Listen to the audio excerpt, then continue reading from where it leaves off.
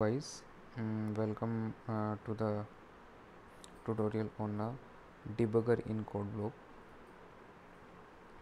so in this tutorial we are focusing on some uh, debugging environment provided by codeblocks so i am using a windows 10 operating system. So i just open the codeblocks ide first. Now i am using 12.11 version of the codeblocks ide to debug any project in uh, codeblocks we need to create project first. So in the previous video i am demonstrating you how to create a project in codeblocks now in this uh, tutorial i directly open the project which is created earlier. So here in, on my desktop there is a project called namely as project. And in this we have one main.c file this main.c file is nothing but having two functions. One is main function another is sum function which will uh, calculate the sum of the numbers provided as a arguments. Okay. Now to understand the concept of uh, debugging uh, codeblocks provide you uh, different uh, commands of debugging. So let's start with the uh, the process of debugging. Now what is the what is debugging? First uh, uh, let let me brief you about the debugging. Debugging is a process of fixing or locating some some type of errors in your program some type of bugs in your program. So by the uh, help of debugger tool we analyze each and every instruction in our program and find out where is the fault we can also use debugging to analyze our program. So suppose this is my program of adding a two number. So I apply some breakpoints on line number 8 and 9 so breakpoints are applied using the F5 command or we can also use the toggle breakpoint uh, from the drop down menu in the debug option. So I just apply two breakpoints by pressing the F key on line number 8 and line number 9. Once you toggle the breakpoints, the next step is to debug your code. Now, when you debug your code, the code is uh, run and at line number 8 it will stop. So, to debug your code, go to the debug option and uh, select star or continue option. You can also press F8 button to start the debugging.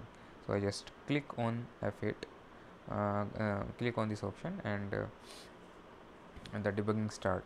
Now uh, once uh, the debugging is start because I apply a breakpoint on line number 8 my debugger will stop at this point.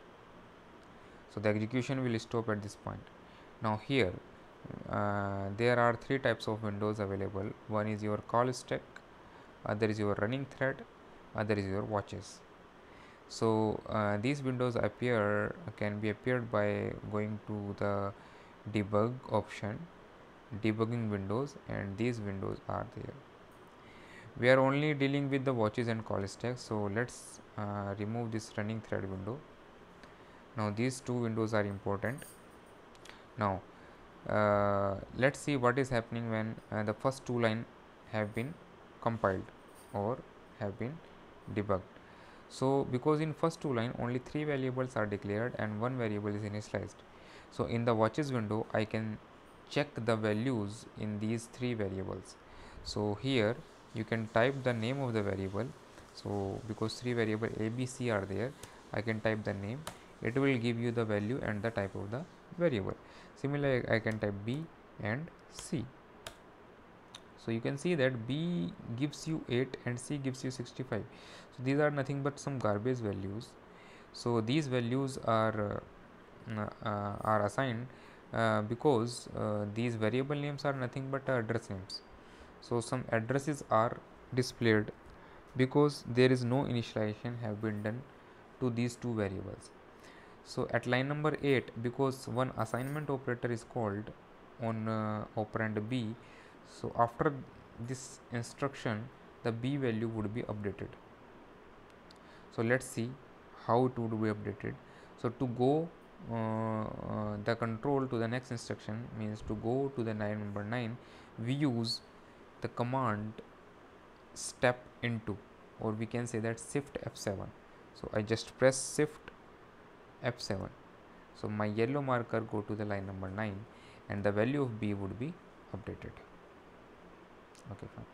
Now in at line number 9 there is a function call function call means you have to jump uh, from the main to some another memory location because each function have some memory address in stack. So we need to assign a address to the main function so that when the execution of some function is completed the control is returned to the address which is maintained by the stack. So to uh, look into this sum function or to go inside the sum function there is a command in the debug that is called step into instruction or we can also use alt shift f7 so from my keyboard I just press alt shift and f7 once you press alt shift and f7 the address is assigned to the main. Once you again press alt shift f7 the argument a will be updated. Then the argument b will be updated. Then these two arguments have been passed to the main and the control will jump to the sum function.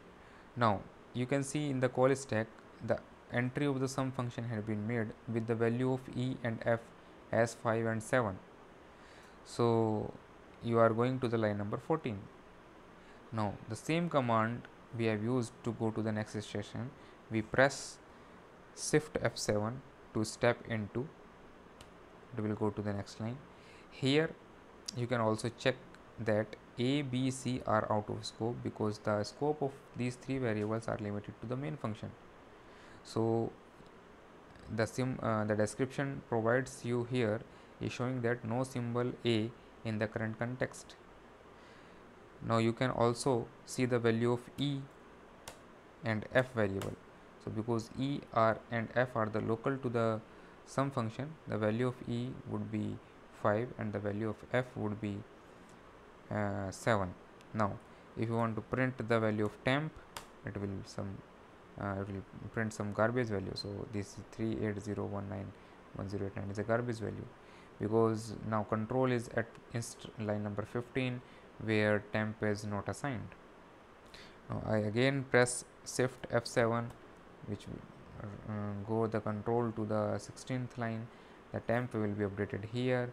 And uh, in the return statement when I again call uh, press shift F7 it will go end of the function then again shift F7 will jump the control to the main now from the call stack you can see the entry of sum have been re removed and the control is returned to the main function.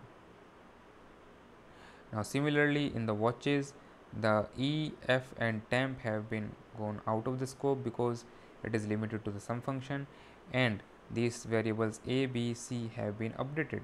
The c variable uh, value of 12 has been updated. Now again you press uh, shift F7 the control will go to the line number 11 and the print message will be displayed on the console. You can check the console. The sum of two numbers is 12 this is the print message. So this is how you can analyze and debug your code in code blocks. These are the windows which is helpful in evaluating or measuring each and every step of your code. Thanks for watching this video